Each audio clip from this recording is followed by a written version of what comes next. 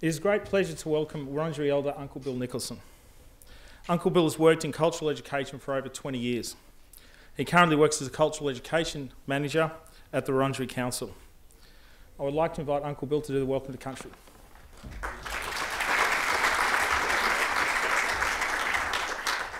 Yes, so thank you, and uh, good evening to everybody. Now, welcoming people to this land it's not just a speech to me, it is actually a very uh, important part of our cultural protocols and cultural law, actually. And talking about uh, my particular connection to this land through the Wurundjeri community, we had our own language as well. We call Woiwurrung. And I'd like to start off welcoming you, you to country in language. So, Waminjika, Gabamala Mungil, Barambun Yalanbul, Wurundjeri Balak, Nirina Bill Nicholson. Yes, uh, as you could work out there, I don't have a tribal name yet. Something as part of our cultural practice we'd like to bring back one day. But uh, I'll just translate that for you. So uh, that is uh, greetings from me. Welcome. Good day from the Wurundjeri people. My name is Uncle Bill Nicholson, and I'm very proud to stand here representing my community as, a, as an elected elder uh, amongst my community. As, as, welcoming people to land, if you've heard them before from any other elders, uh, or even myself, you may have uh, heard the elder mention acknowledgements.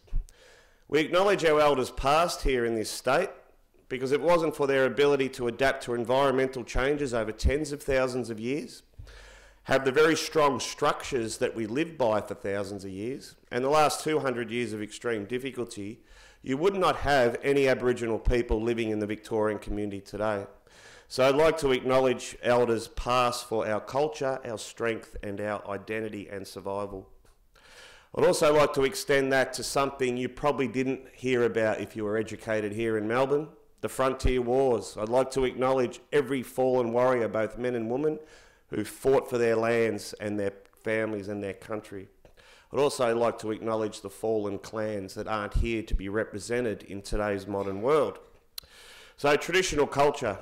Uh, as an educator, um, there's quite a lot that I could uh, sit up here or stand up here and explain about, but I'll give you a little bit of a snapshot.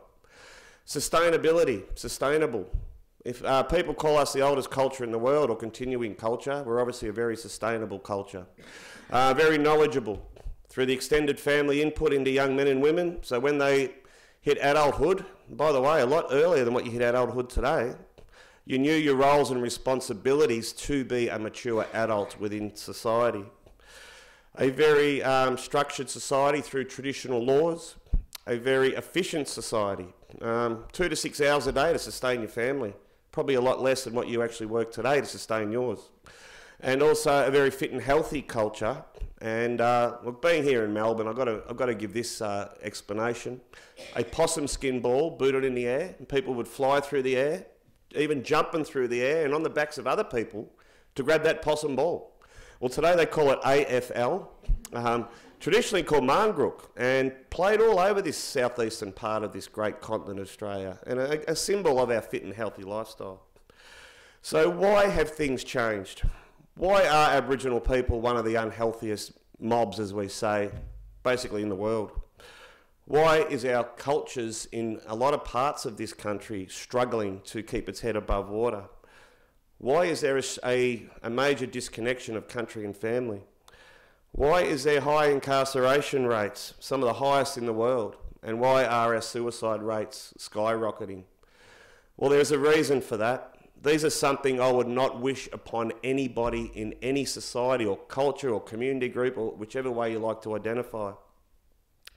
The term reconciliation, Reconciliation Week that we just uh, went through, um, I had to look at the uh, dictionary to find a, an actual definition, and what I came up with was the restoration of friendly relations. My question about reconciliation is when did friendly relations begin? I'll give you a little bit of a snapshot. The Mindai plague, which we call smallpox, took out nearly 99% of the population of this area before John Batman came here to create the first treaty, which also failed. Um, Simon Wonga, a number of years later, Wonga Park in the eastern suburbs, named after Simon, great inspiration to myself, adapted our people from traditional living to living in one place, or agriculture. We were very good and successful at that. But William Barak, who was a predecessor to uh, Simon, one of the first human rights fighter in this country, commented, Why are we being treated like criminals when we have done nothing wrong? We want our freedom. We want our own ways of making our decisions for our people and our country. These are questions that are still being asked by the Aboriginal communities, or the Wurundjeri community I'm speaking for, still today.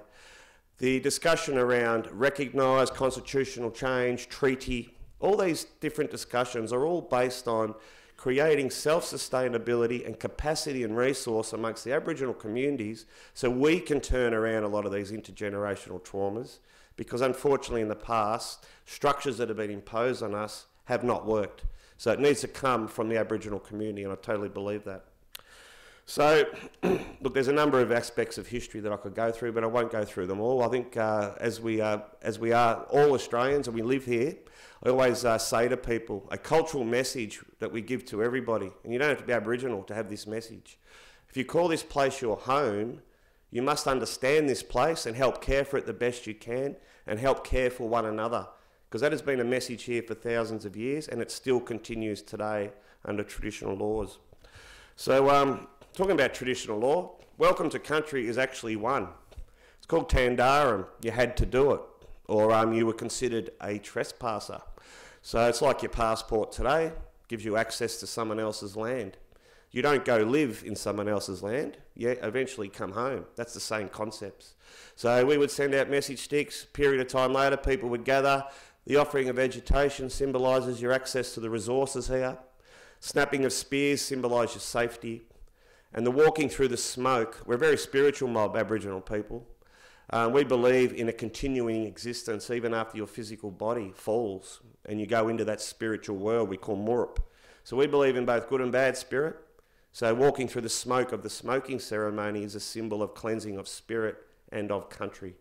Now, lighting a fire in here is a bit impossible, so I won't do that. But I'd just like to say to feel truly welcome, you must respect country, people, and culture. If you do, Wimijika Yiman Wurundjeri Balak Ulambiek is a welcome to Wurundjeri home, welcome to Wurundjeri country, and I really hope you enjoy your evening. So, thank you.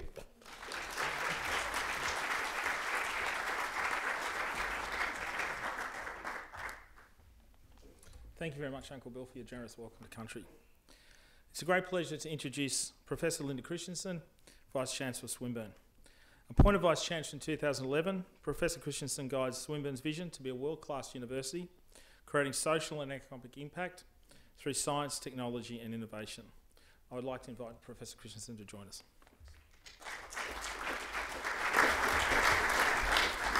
Thank you, Andrew. And may I also acknowledge the traditional owners of the land where we're gathered tonight, the Wurundjeri people of the Kulin Nation, and pay my respects to elders past and present.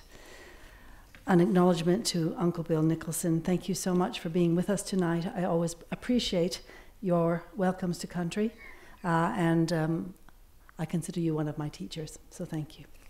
Uh, may I also extend a warm welcome to Professor John Maynard, the professor, of Indigenous History at University of Newcastle. Thank you for being here.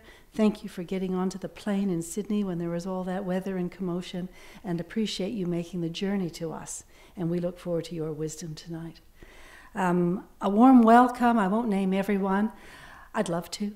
Uh, you're all here because you are part of our Swinburne community. So, academic staff, colleagues, uh, family, friends, students, thank you so much for being part of this important evening for us, the Swinburne Reconciliation Lecture. This lecture marks the culmination of an exciting program here at Swinburne, acknowledging the importance of National Reconciliation Action Week. In 2017, National Reconciliation Reconcilia it's a hard word to say. We need a new word, Uncle Bill. Ne- Reconciliation Week reflects on two significant anniversaries in Australia's reconciliation journey 50 years since the 1967 referendum, and 25 years since the historic Mabo decision. While we commemorate these significant milestones, we ask all Australians to be part of our nation's reconciliation journey. As part of Swinburne's commitment to National Reconciliation Week, we have held reconciliation, I'm going to say this right, I will, morning teas at our Hawthorn, Croydon, and Wantirna campuses. A National Sorry Day commemorative event We hosted Indigenous walking tours, which connect us and help us understand the land where we have been welcomed, and a unique lecture on Indigenous astronomy, which is just a fascinating uh, intersection because of our world class expertise in astronomy and then the 60,000 years of wisdom that has passed forward to us. And when you bring those stories together, it's amazing how similar they are. Today's lecture is a special event because it signifies Swinburne's commitment to reconciliation and our intent to increase our understanding. So we are here tonight as learners. As a university, we aim to ensure Aboriginal and Torres Strait Islander people's heritage, knowledge, and cultures are recognized by our community and embedded into the many ways that we work. In 2014, we launched our first Reconciliation Action Plan. This plan recorded our commitment to the education and training of Aboriginal and Torres Strait Islander peoples, organizations, and communities. This plan also charted our aspirational goals and the actions that we wanted to undertake to bring this action plan to life. The, the RAP aims to contribute to addressing social issues including education, health, and employment, to engage and support the participation of Aboriginal and Torres Strait Islander peoples in education and employment, to build an inclusive and supportive culture, and to create, enhance, and maintain strong relationships with Aboriginal and Torres Strait Islander communities, organizations, and individuals. We seek to create a university culture that is enriched by our RAP, that actively promotes knowledge sharing, strong relationships, and lifelong learning environments. So I'm very pleased to report that we are currently finalizing our second Reconciliation Action Plan. Thank you to Andrew Gunston, Andrew Peters, and the team for progressing that work. And we are excited about the next steps that we will take on our reconciliation journey. Reconciliation must live in the hearts and the minds and the actions of all of us. Swinburne is committed to contributing to creating a nation that is respectful and fair in our relationships between Aboriginal and Torres Strait Islander peoples and other Australians. Tonight's event is a significant step forward in this journey. By being here tonight to share, listen, and learn, you and we demonstrate our commitment to reconciliation. So thank you. Have a wonderful evening.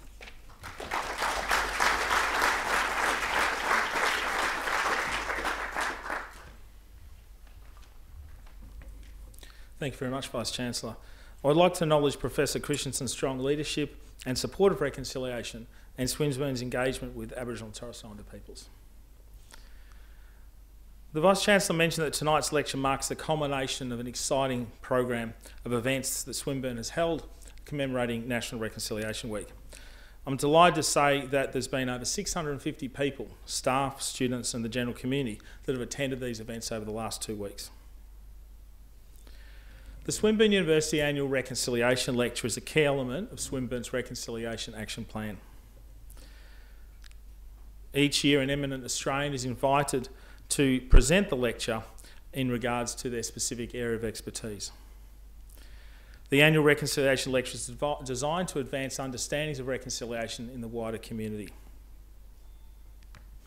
It is now with great pleasure that I welcome and introduce our 2017 Reconciliation Lecture Orator, Professor John Maynard. Professor John Maynard is a Worimi Aboriginal man from the Port Stephens region of New South Wales. He is currently Chair of Aboriginal History at the University of Newcastle and Director of the Purai Global Indigenous and Diaspora Research Studies Centre. In 2014, he was elected a member of the prestigious Australian Social Sciences Academy. He gained his PhD in 2003, examining the rise of early Aboriginal political activism. He has worked with and within many Aboriginal communities, both urban, rural, and remote. Professor Maynard has held several major positions and served on numerous prominent organisations and committees, including Deputy Chairperson of the Australian Institute of Aboriginal and Torres Strait Islander Studies, Executive Committee of the Australian Historical Association, the New South Wales History Council, Indigenous Higher Education Advisory Council, the Australian Research Council, Council College of Experts, and where he's Deputy Chair of Humanities. Uh, he's also serving on the National Indigenous Research and Knowledges Network, and he's also been a Fulbright Ambassador. Professor Maynard's publications have concentrated on the intersections of Aboriginal political and social history and the history of Australian race relations. He's the author of a number of books, including Aboriginal Stars of the Turf, Fight for Liberty and Freedom, The Aboriginal Soccer Tribe, Aboriginal in the Sport of Kings, True Light and Shade, an Aboriginal perspective of Joseph Lycett's art, and Living with the Locals, early Indigenous experience of Indigenous life. He's also appeared on numerous television and radio programs, including a range of documentaries, including The Track and The Colony and Vote Yes for Aborigines. Professor Maynard's address is entitled Black to the Future, and it's with great pleasure that I invite Professor Maynard to deliver the lecture. Thank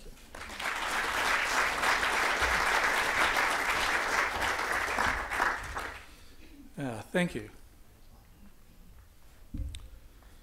To begin, as a Worimi Aboriginal man um, from the Port Stephens, get this to stand up somewhere, maybe down here.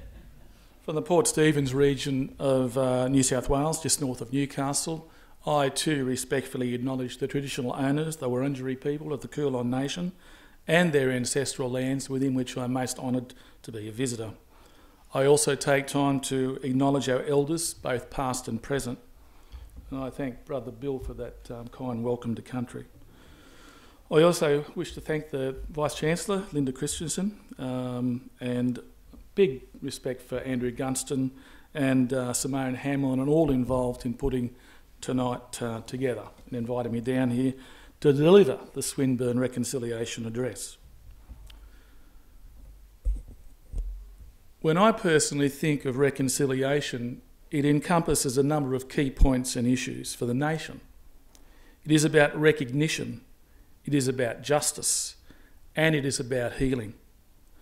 Recognition that we, as the first peoples of this country, have existed here on this continent for upwards of 50,000 years.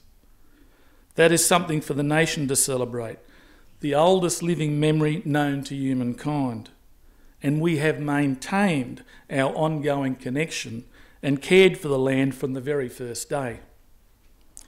The second issue is about justice, and it is about overcoming all of those social disadvantages that can be summed up by examining the shocking statistics of Indigenous disadvantage evident in health, education, housing, employment, youth suicide, drug and alcohol, and the sickening high rates of Indigenous incarceration. I remain certain that we as a nation can meet and overcome these enormous challenges if we work together as people did 50 years ago in the lead up to the 1967 referendum. That struggle signifies that we can work together with trust and with respect. The third point healing is a goal for the nation to strive in attaining its full potential as a global leader of equality, justice, and upholding the Australian notion of the fair go for all. The greatest treasure this nation possesses is Indigenous cultural connection to the continent. It is something to celebrate, acknowledge, embrace, and be proud of. It is also important that the nature, nation recognises the history of the past 239 years. It is not just about putting your head in the sand, hiding and hoping the past will go away. To truly heal, the nation must recognise and take responsibility for the tragedy of the past. We must face things together and work on things that are difficult and complex at times to face, but these things can be resolved. In 2017, for me, Australia stands at a crossroads. Are we heading toward a truly egalitarian and shared future of prosperity, or to the bleak future portrayed in the movie Back to the Future 2? And I've got my, you know, my t-shirt on.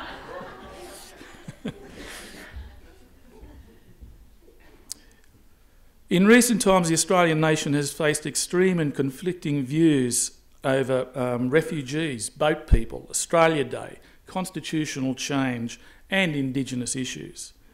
It is timely to look back at the past now on some of these very same issues, to gain an insight on how we can take steps towards making positive change today for the future.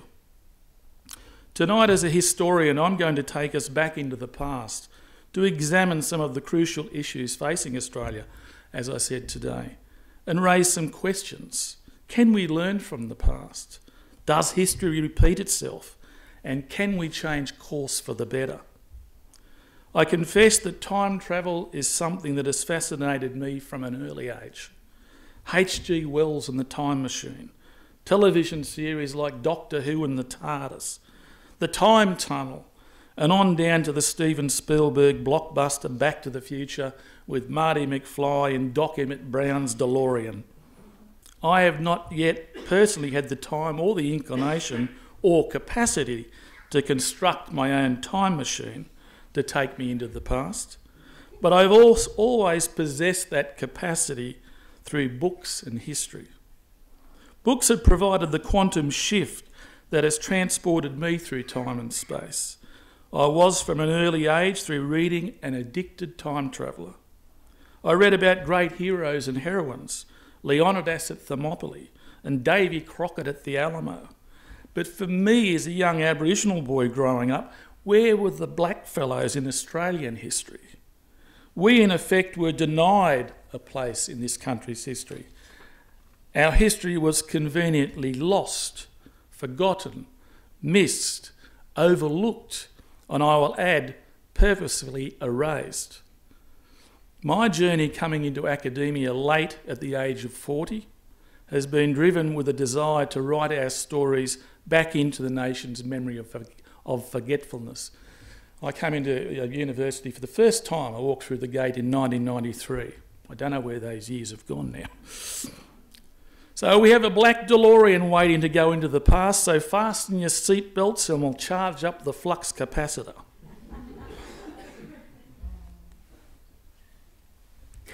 In the lead up to Australia Day 2017, a media encouraged debate erupted over the 26th of January continuing as the date to celebrate Australia's Day. The national website for Australia Day declared that it was the day that brings the country together as a nation to celebrate what's great about Australia and being Australian. But from an Indigenous perspective, it is a day of infamy and recognition of invasion, occupation, dispossession, and cultural destruction. Additionally, Australia today is not the Australia of the 1950s, with white Australia still firmly locked in place.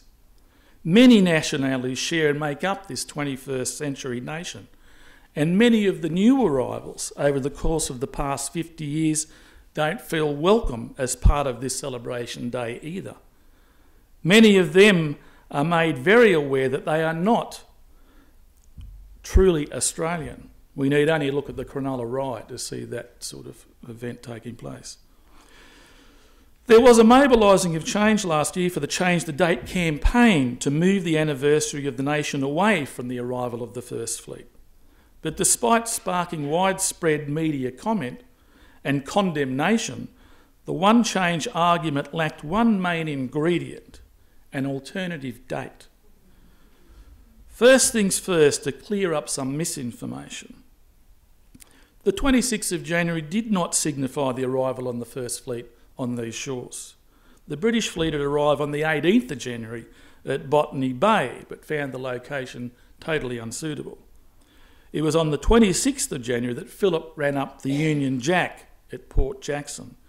And it was amazing, it was not until 1946 that all states and territories adopted the current Australia Day as the name for the 26th of January celebrations.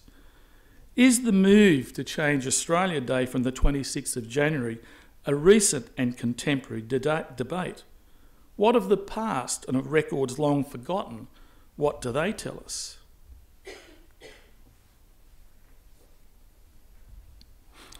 On the 7th of March 1925, the Australian Natives Association held their annual conference in Sydney. The ANA was a fiercely nationalistic, all white organisation and proclaimed membership be restricted to only those Australian born. They also demanded that only native born Australians should represent the Commonwealth at state, at home, or abroad. They also looked to amend the Constitution, moving that all governors should be, um, should be native born Australians. It is very significant that at this conference, the ANA requested that the holiday, at the time known as Anniversary Day, Australia Day, be scrapped from the list of holidays and that the Sunday falling upon April 25th or the next Sunday following that date be observed as Anzac Day and the following Monday be recognised as Australia Day. So we have a date, we have another date. I'm sure we'll have some more dates if we, if we put it up there. But even more radical, I mean, this is an all white organisation, the ANA, and I said they're a fiercely nationalistic group. Even more radical, the ANA demanded that Aboriginal people should be recognised as Australia's greatest asset. This is 1925 that the federal government should be requested to take control of Aboriginal affairs away from the states and to arrange for the repatriation of Aboriginal people upon their own land. This was a long time before the 1967 referendum and the move to Commonwealth to take over Aboriginal affairs. It comes as no surprise to me that the ANA could be more than 90 years ahead in thinking, as the treasurer of the ANA was one John J. Malone. Ooh. John J. Malone, there he there. And he's over here. That's him there. Moloney was a man greatly influenced by some very prominent early Aboriginal activists, including my grandfather, Fred Maynard. Moloney was a newspaper editor and gave much space and coverage to Aboriginal people and issues during the 1920s and early 30s. In a 1927 letter, he vividly outlines his anger over the treatment of Aboriginal people. The inequity of the position maddens me. To see these poor creatures kicked into the bush worse than dogs, their homes built by their own hands confiscated, no compensation, no redress, their children kidnapped by the Crown, robbed and derided by all parties. Every church equally to blame, priests, bishops, parsons, all equally guilty. No Aborigines wanted in any church, church, while God's own creatures cry for food and shelter, of which they have been robbed. If I were in London, I think I would get an audience with the king. Moloney was strongly supported by a white missionary woman, Elizabeth Mackenzie Hatton. And that's Hatton. Wonder what that noise was. It sounds like the storm's coming again. Hatton lost her first husband, and he's, he's there in that picture there, to a shark attack. She lost a daughter at the age of 10 to illness, and her son went on to fight in World War I and he died of his wounds on the Western Front. You know, very sad experiences for a mother and to what she went through, that woman. She wrote and spoke tirelessly in support of mothers, wives, and loved ones who lost family members in the Great War. She also became a great supporter of Aboriginal and Islander rights. Now, former Prime Minister John Howard has argued that Australians of the current generation should not be required to accept blame for past policies over which they had no control. Yet Mackenzie Hatton, writing in 1926, could be almost replying to John Howard across the decades by stating, and I quote, we may claim that we are not responsible for the actions of the original British invaders who violated their homes, shot, poisoned, burned, and mutilated the natives, but we cannot claim immunity from the conditions existing at the present time and what should not be tolerated for one moment longer than it will take to rectify matters. The citizens comfortably situated on the shores of Port Jackson, Sydney, are in the main absolutely ignorant of the conditions which, under which the natives are existing. The moment this sore is opened up, there will be a rush of apologists from the ranks of parliamentarians, parsons, priests, pedagogues, pedants, and peripatetic philosophers, but such belated excuses will be brushed aside, for the fiat has gone out justice to the natives, and the people of Australia will not be satisfied until that full measure of compensation has been accorded to a much injured and sadly wronged people. What an incredible piece of writing at that time. And she wrote a lot and she spoke a lot. Moloney and Hatton were courageous supporters of Aboriginal people and they did suffer a backlash because of it. They were very much a minority back in the 1920s, but they were brave enough to get up, stand up alongside Aboriginal people and speak out for what they saw happening in this country. And I was saying just earlier outside that we as a minority in this country, heavily marginalised, we cannot make change unless we get non-Indigenous people to support us. And again out there I was saying, historically we have done that. At the big moments in our history when we have made a major impact, Charlie Perkins and the Freedom Ride, whole bunch of white students on that bus with Charlie.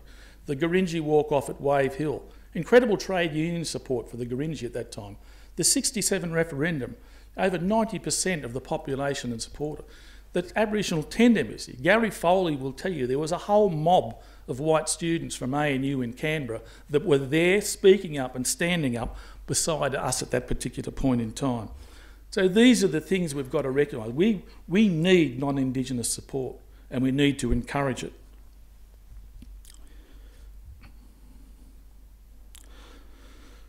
This illustrates across over 90 years how, in the contemporary setting, the failure to accept any blame or responsibility has continued unabated, notwithstanding Paul Keating's 1992 Redfern speech and Kevin Rudd's apology to the stolen generations. Aboriginal suffering, inequality, and disadvantage continues into the 21st century. Sadly, the country is yet to learn or come to terms with the past. The great African American writer James Baldwin reflected in 1963 on this dilemma in relation to the United States, and he said, They are, in effect, still trapped in a history which they do not understand, and until they understand it, they cannot be released from it. And this country remains a prisoner of its own past. The world is currently gripped, gripped at the moment with a huge global refugee problem. I was in Europe just before Brexit, Brexit and watched the unfolding backlash against refugees fleeing the war torn Middle East and Africa.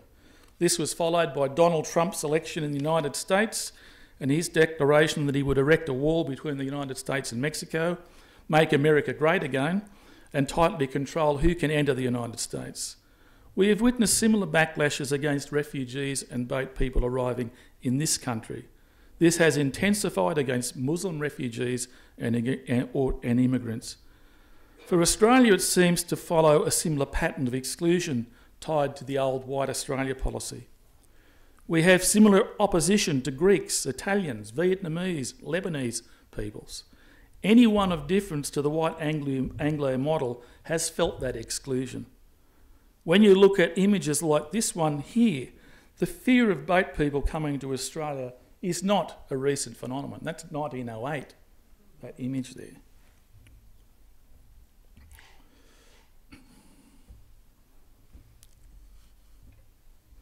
My most recent book with my wife, Victoria Haskins, was titled Living with the Locals, and it examined the stories and accounts of white people who ran away, got lost in the bush, or were shipwrecked, and lived with Aboriginal and Islander communities for extended periods of time at the very earliest point of contact. And a lot of these people were convicts, um, and as I said, shipwrecks and people like that. These people were in most instances in dire straits and would not have survived without the generosity and kindness extended to them. They were accepted into our families, communities, and kinship structures. I think our current society could well learn from that experience with the current global refugee dilemma. It is important to realise that despite Paul Keating in his time as Prime Minister, making the call and push for Australia to make much closer ties with Asia rather than Britain and the United States. We, as Aboriginal, Aboriginal people, had already established long economic ties with Asia, particularly through the visits of the Macassans in the far north. Those trading ties were established nearly a thousand years ago, and there was never any attempt to steal land or this country. The relationship was one based on mutual trust and economic benefit. We had Aboriginal people were going back with the Trepang trade as far as China in those days. So this was an incredible connection with Asia at that particular point in time.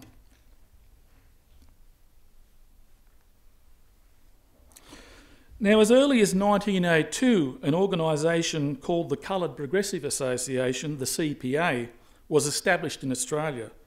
The organisation was comprised mainly of members from the black Commonwealth, that included non white people living in Australia, as well as visiting West Indian, Indian, African, Maori, and Islander merchant sailors.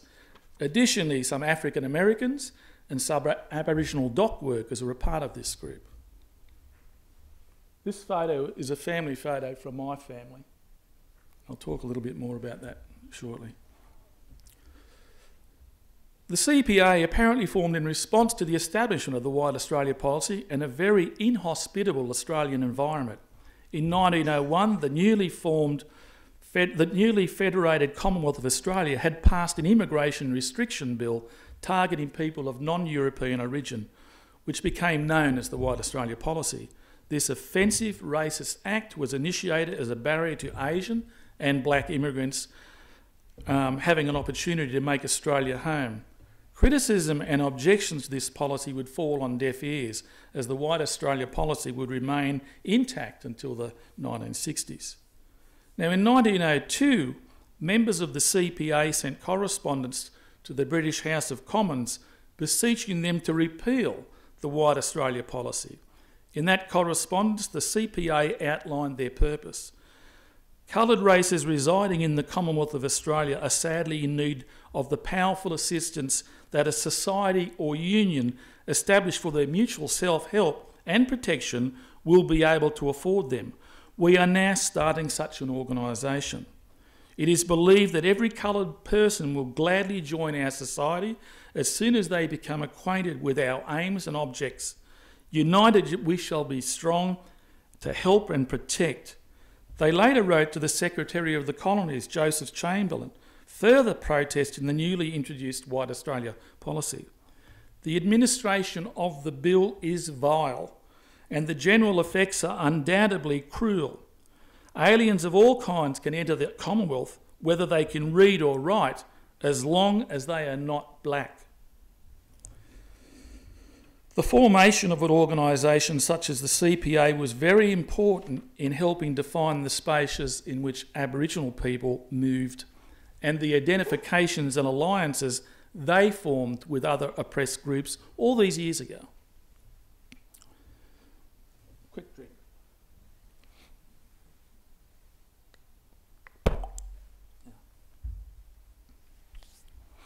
These connections were forged between displaced people, engendering the mobility not just of black populations, but importantly of black transnational politics.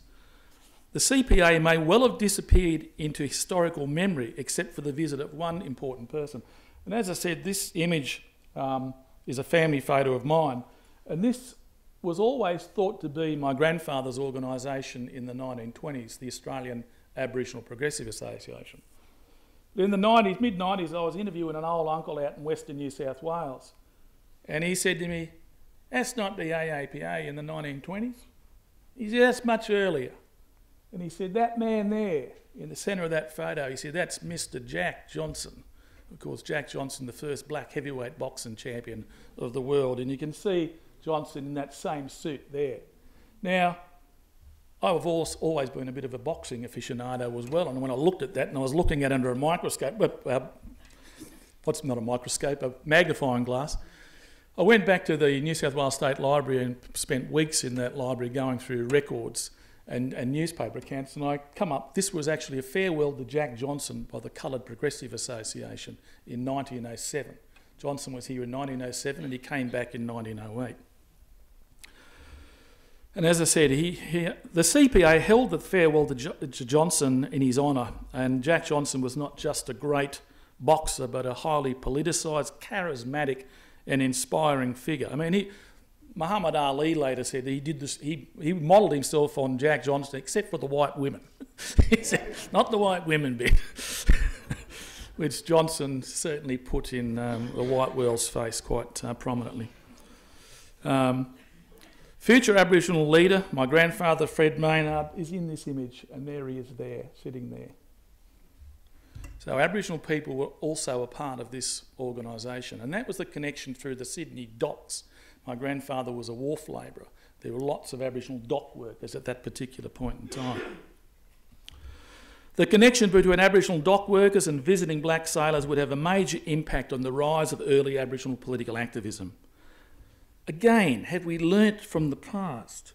The behaviours of exclusion and the barriers of acceptance, tolerance, compassion, and understanding seem to be the mantra of many still today. So, again, as I said, the eruption of the Cronulla riots and the stuff you read in the papers, the continuing media coverage of anybody of difference in this country, it doesn't take much to scratch the surface and have that rear its ugly head. Moving on. We have just witnessed another historical moment with a long drawn out process making constitutional recognition and reform. It has culminated with the meeting of over 200 Aboriginal people and the delivery of the Uluru Statement.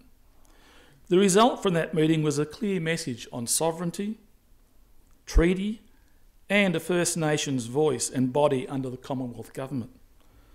Of course, we had an elected national body, ATSIC, between 1990 and 2005, but where does this all sit in history? Let's go back and check. The fight for Aboriginal justice is a long one and goes back well before the 1950s and 1960s. And to be truthful, we've been fighting for justice from the time those sails first sailed into Port Jackson. So it's been a long drawn out process. But the whole process of political organised revolt also is a long one. The period 1860 to 1910 is a much misunderstood and misinterpreted period of Aboriginal history. It was a period not just in New South Wales, but also South Australia, Victoria, and Queensland, where Aboriginal people had re established themselves on small land holdings in traditional country and began to prosper. I'm speaking about New South Wales here because I've had a lot of time to look at records over a lot of years, but Aboriginal people from the mid 1850s began writing petitions and letters to government New South Wales state government asking for land in their own country. In many instances, they were written, that was self-written by Aboriginal people. In many other instances, they had non-Indigenous supporters who wrote the petitions on their behalf. When you look at those records in the archives in New South Wales, in the first instance, I mean, the, the government is saying that um, the view of the, they actually asked the police to have a look in the local area, and the response is coming back where it's heavily timbered, worthless scrub. Give it to them. So Aboriginal people began to regain this particular land. In the space of only a couple of short years, again the archives are saying there's a report. The land has all been cleared. It's been fenced. It's been cropped. They've got homesteads on it. They've got livestock. And again, you go into those records, no one knew the seasons better than Aboriginal people in their own country. They were prospering on these independent farms. These weren't the heavily congested reserves of the 1930s onwards.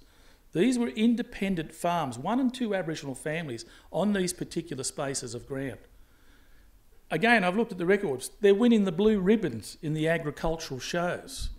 And there's accounts £100 cleared a year, £120 cleared a year, £150. That's a lot of money. £500 cleared a year. An Aboriginal family with a piano, they bought a piano. This was a very, very successful time period for us. And the sad tragedy of that is if, if that had been able to go on. I was mentioning earlier Gary Foley. He would have been here tonight, he's actually unwell. But Gary Foley's great grandfather, Jim Doyle of Nambucca Heads on the north coast, who was a member of my grandfather's organisation in the 1920s. There's a count during just during the World War One that states that Jim Doyle, Gary Foley's great grandfather, owned five properties. He had a boat building enterprise.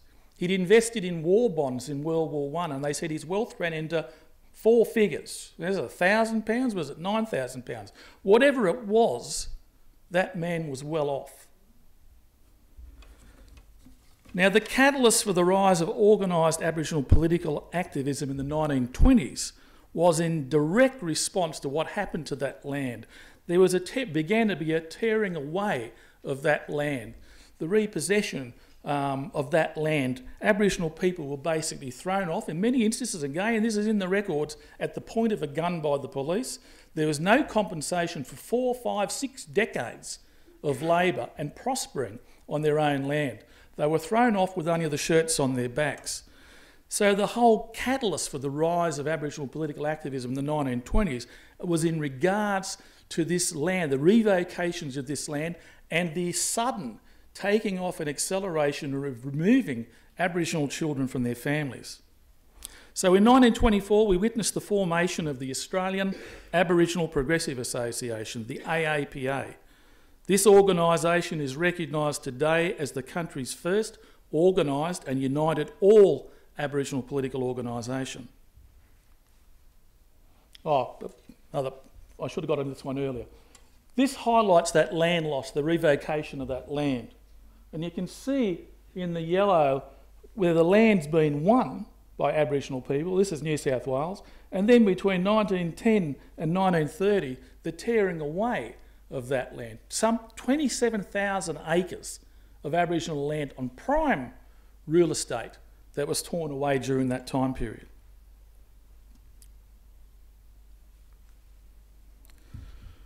Now here's the AAPA, um, and that's their, their emblem. My grandfather up there, Tom Lacey, Dick Johnson, Sid Ridgway, um, Cora Ridgway, Cora Robertson, my grandfather's cousin, Jane Duren, Ben Roundtree and his wife. These were the, some of the prominent office bearers of the Sydney branch, the central branch of the AAPA in the 1920s. At its height, the AAPA had 13 branches, four sub branches, and more than 600 members. Many of the members of this early Aboriginal political movement, including prominent office bearers Dick Johnson, who's pictured here, Ben Roundtree at the top, and Edward Walker, were returned soldiers from World War One.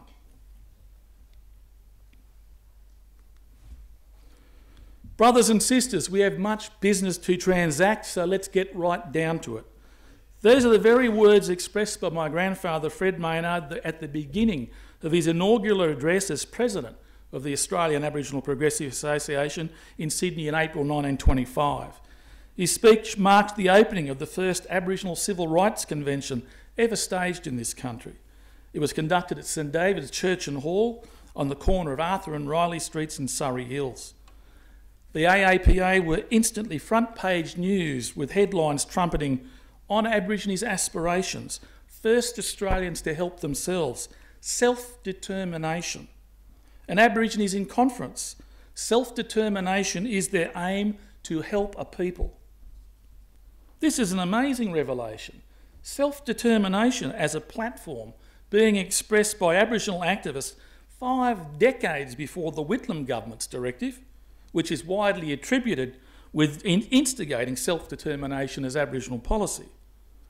It was noted that over 200 enthusiastic Aboriginal people were in attendance and they heartily supported the objectives of the association.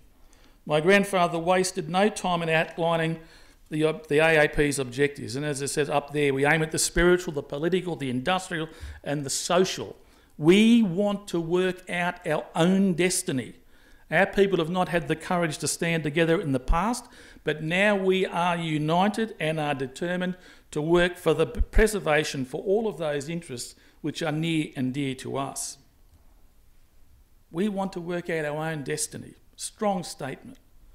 You might gather from this talk I have a bit of admiration for James Baldwin as a writer, because many years later he captures the importance of that statement he says, When a black man whose destiny and identity have always been controlled by others decides and states that he will control his own destiny and rejects the identity given to him by others, he is talking revolution. In point of sober fact, he cannot be talking anything else. So these early Aboriginal activists had granted their political demands around connection to land and a platform organised on bettering conditions economically, socially, politically, and culturally. Aboriginal claims to their land were also bluntly expressed to the New South Wales Premier. My grandfather stating, The Australian Aboriginal people are the original owners of the land and have a prior right over all other people in this respect. These early Aboriginal activists were articulate, uh, eloquent, and educated statesmen and women, far removed from the wider misconceptions of the time period that portrayed us as belonging to the Stone Age, unable to be educated, and a dying race. All of these people were self educated. They didn't come through you know, major school or university or colleges, they were self educated.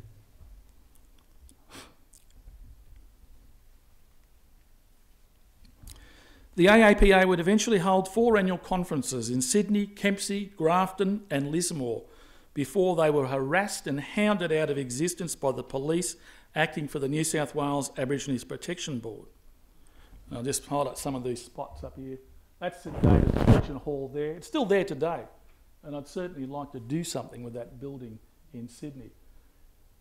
As early as 1924, with Hatton, Mackenzie Hatton, who I noted before, the Aboriginal activist and Hatton set up a home in Sydney for Aboriginal girls who'd been taken away by the Protection Board and apprenticed into the domestic service scheme and into white households in Sydney, but ran away and were on the streets in Sydney.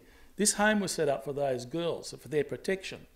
It was under constant police surveillance and harassment from the police. They even called in a Crown solicitor to try and have it closed down.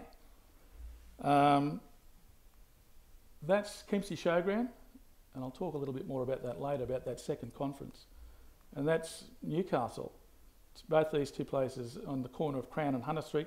My grandfather and those activists went to Newcastle in 1925 and again in 1927. My grandfather spoke there as well in 1927.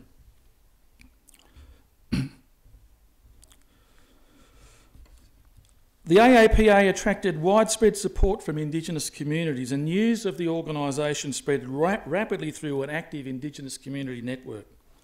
The formation of the organisation filled Aboriginal people with hope and inspiration, with the knowledge that some of their own were now speaking out against the oppressive policies that confronted Aboriginal people and communities.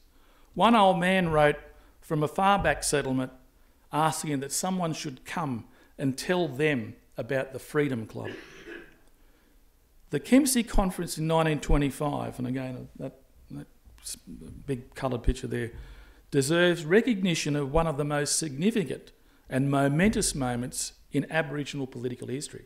But it, like much of this story, has been missed in Australian history. Very few people really know of these events, you know, even blackfellas themselves. And there's a reason for that as well.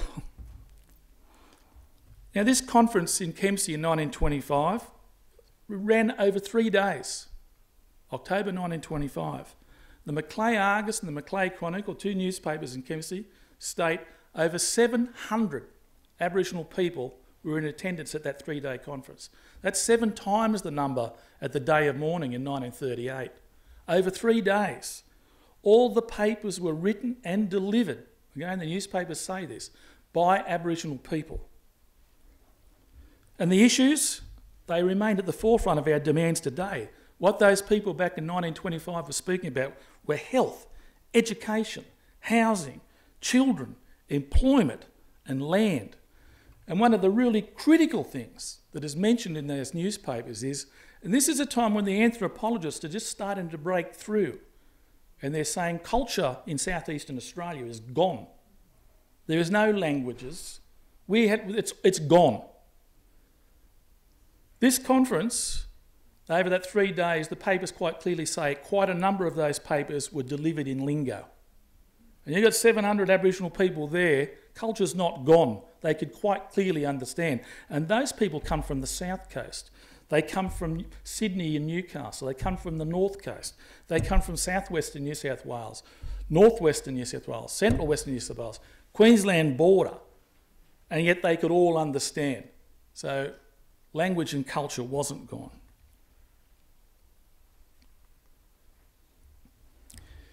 In 1927, the AAPA issued a manifesto, and this has also been missed by history, of Aboriginal demands, and it was widely published by the press, not just in New South Wales, but in Victoria, South Australia, and Queensland. The AAPA pushed the concept of a pan Aboriginal identity and a national agenda for improving Aboriginal conditions, including the call for enough land for each and every Aboriginal family in the country national land rights. That was on their agenda. And that Aboriginal affairs be governed by an all Aboriginal board that sits directly under the Commonwealth Government. This is 1927 when this has gone out.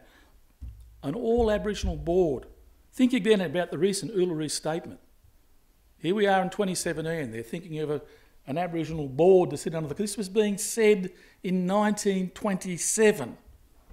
Now, on 31st, 31st of March 1928, Ben Rountree, as I said before, a returned Aboriginal soldier, and the secretary at that point of the AAPA, wrote to the Commonwealth Government Royal Commission on the Constitution. And he forcefully endorsed the national agenda and policy. And he said, We heartily endorse the views of the Commission now sitting at Canberra and pledge ourselves to stand solid behind the Commission for the emancipation of the whole of our conditions and people throughout Australia. Our unswerving loyalty is with you in the fight for the federalising of the whole of Aboriginal affairs and the abolition of state control. 1928, you know, we're talking about what happened in 1967. We had to wait another 40 years for the Commonwealth to take over. Whilst my grandfather and as I said, he was a wharf labourer, referenced the loyalty, fidelity, and bravery of Aboriginal servicemen in the Great War. He was also a member of the Waterside Workers' Union, who had vociferously opposed and helped defeat Prime Minister Billy Hughes' conscription referendum twice. Of greater significance to my grandfather was the fact that a catastrophic war had taken place on the Australian continent. On several occasions, he used the word extermination Of course, we know the word genocide didn't come through until the 1940s. But on several occasions, he said that government policy was about exterminating Aboriginal people in this country. in his mind, there was no question that a war had been waged. I'm getting a bit dry again. I've been moving a lot in the last 10 days. Lots of planes. Dries you out.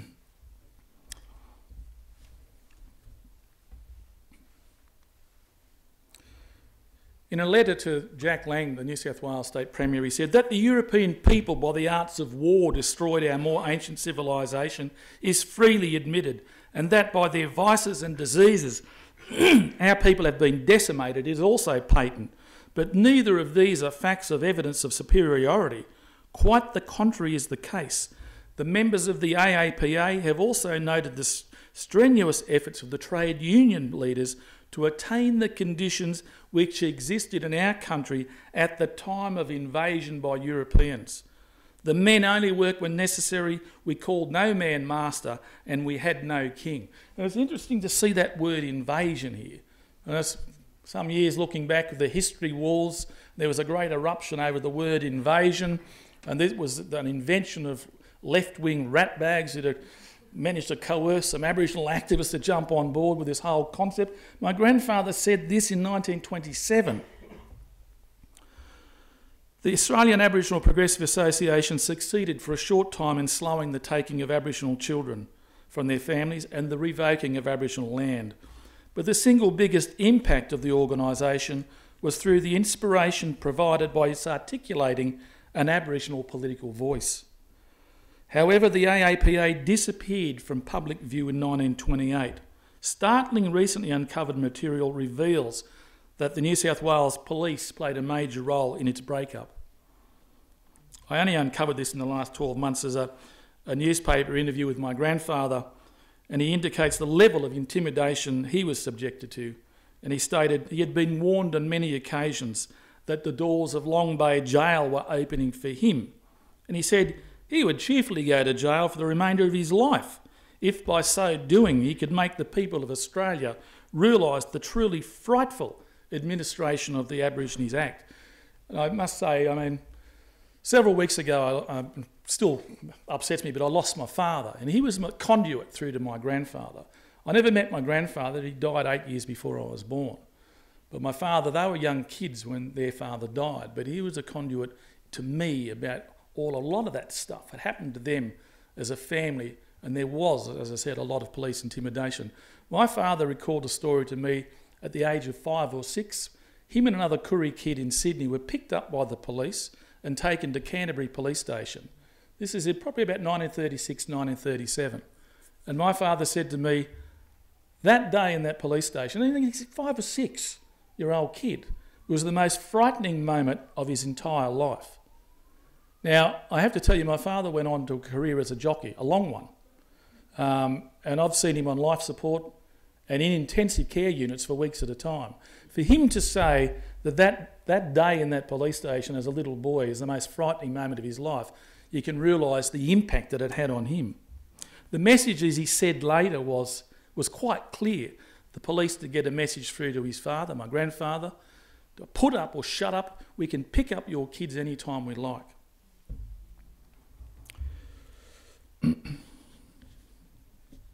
Late 1930s Aboriginal activist Bill Ferguson would later recall that the AAPA was hounded out of existence by the police acting for the board. The 1931 Australian Communist Party publication on the rights of Aborigines revealed that the AAPA was destroyed through a coalition of opposition formed between the government Aborigines protection boards, the missionaries, and the police. The AAPA, however, left a lasting legacy as Aboriginal people were encouraged to step forward and voice demands on behalf of their people. That continues to this day.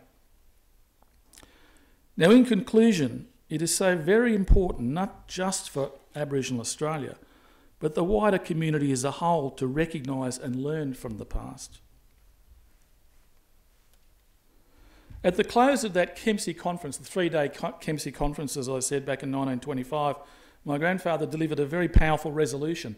And this was forwarded on to the Commonwealth Government, state governments, and was published widely across New South Wales, Victoria, Queensland, this, even South Australia, this, um, this particular news of this conference.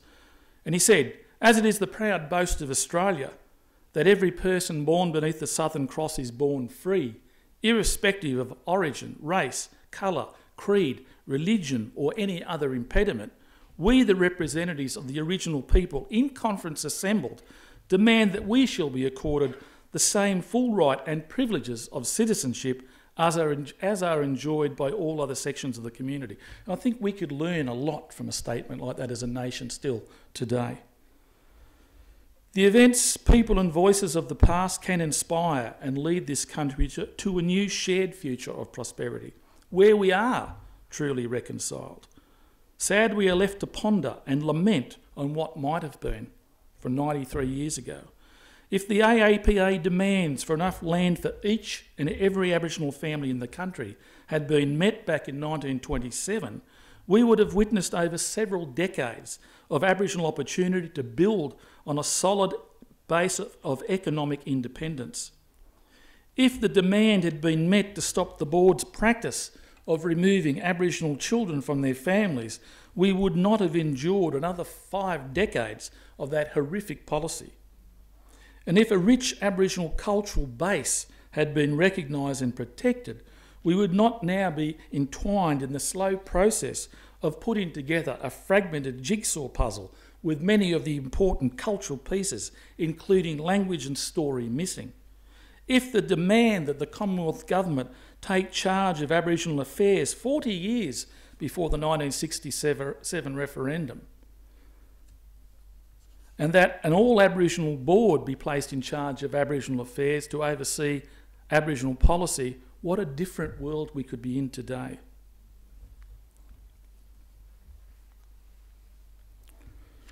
I'll just go, and I've just I've just been up on the north coast of New South Wales. I've got a, I'm doing a, a, a large research project on the history of the New South Wales Aboriginals Protection Board, and I've recently spent time at Taree, Port Macquarie, Kempsey, Armidale, Coffs Harbour, Grafton, Nambucca Heads, Bowraville, and this is Kempsey Showground. That place is still there, that old building from 1925. And it's certainly the intention of me and others. I mean, I've been in contact with Gary Foley some time back in regards to this, that we hold a conference next year in 2018. I, I don't want to put it off till 2025. You never know, we might not be here. I'm getting up to that number where you're scratching your head and thinking, I'm still here. But um, at Foley's the same. no, brother, don't put it off too long, let's go. so, so, yes, we, we aim to, to hold a, a major Aboriginal history uh, conference there next year and in commemoration of that 1925 um, conference. So, in looking back at my points tonight, it does appear that history repeats. But have we learned from the past to make change for the best? For the early Aboriginal activists and their supporters, the fight was all about making change for the good of all Aboriginal people. And that is an important lesson and reminder for us as Aboriginal people today. I have to say, I mean, you know, you look at, at the last 25, 30 years, I mean, I get frustrated and, and despondent at times. I mean, I think for me personally, since the introduction of native title, we've spent most of our time fighting amongst ourselves.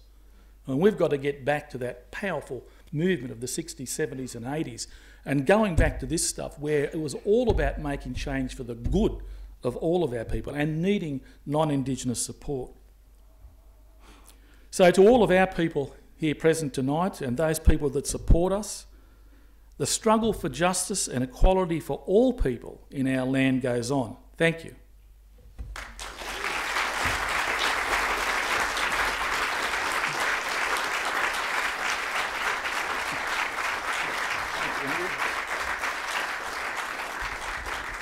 Thanks very much, John. We've got time for a couple of questions. Any, any questions?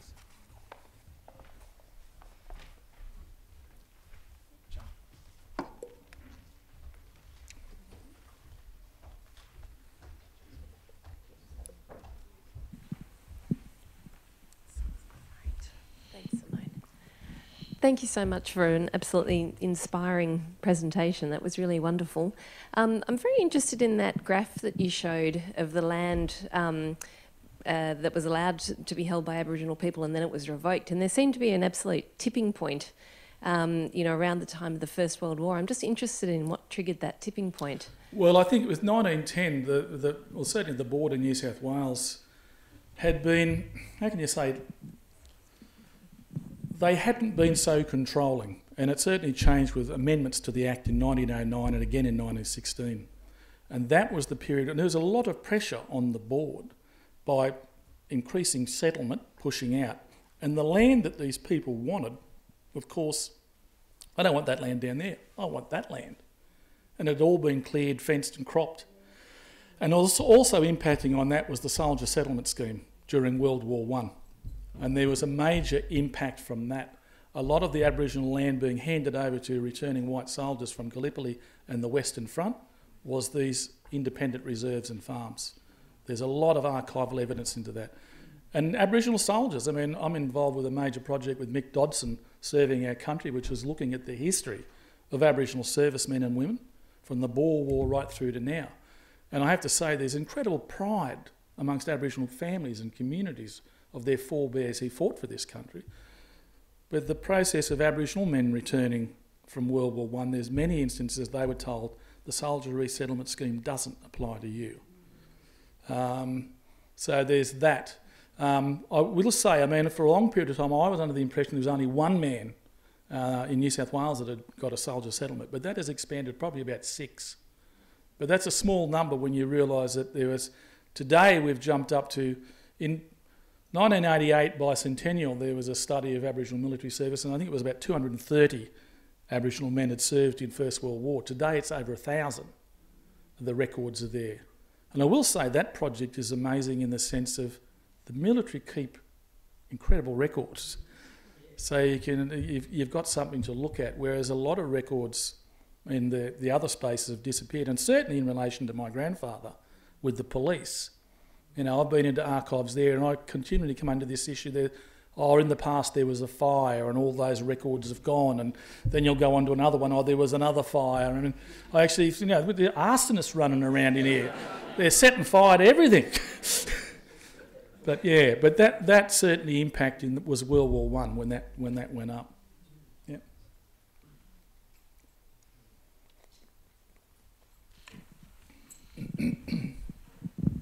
Thank you, Professor Maynard, for your um, talk. I really enjoyed it and learnt a lot.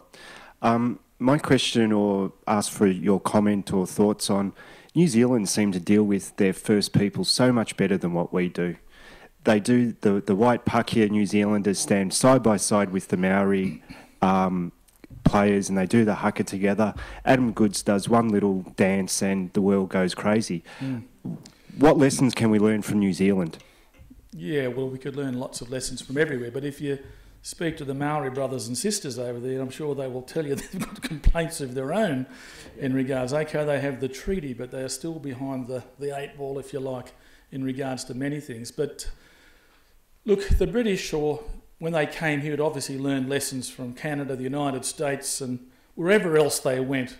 Um, and it was mentioned earlier, um, and, and, Bill, I think he's gone now, but in, in regards to the first impact of disease into this country. I mean, um, a lot of the British Marines in Sydney had been with Amherst and with the war against Pontiac, where smallpox blankets were released. And I mean, and people argue against that, that suddenly smallpox just appeared here, you know, and said that, but when you've got those Marines who were in that space and they actually used, and that's in the records that Amherst used that as a weapon and it is true that um, Butlin's study in the 80s about the impact of that here in this country was some something like in the first four decades, and he actually put our population much higher, Noel Butlin as well, or something like a million. Everybody tries to keep that population down, you know, but he estimated over a million Aboriginal people here. And he says that in over just four decades, uh, the impact on Aboriginal Australia was something like 60 to 90% of the population had been swept away. That's an incredible impact on, the, on the, this, this country. Yeah, so other countries, yes, but they've got problems as well.